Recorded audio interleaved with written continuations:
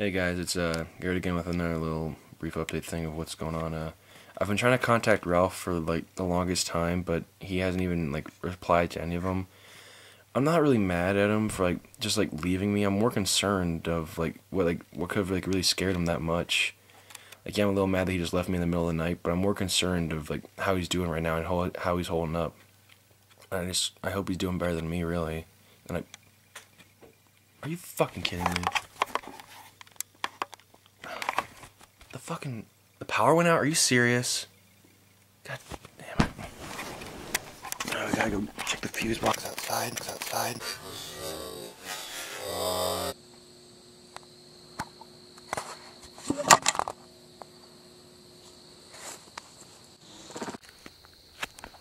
I gotta check the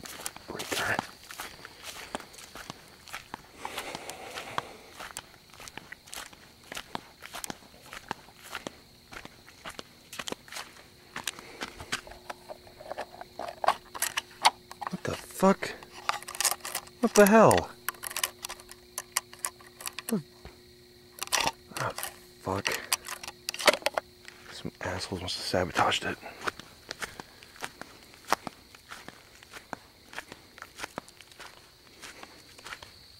Shit!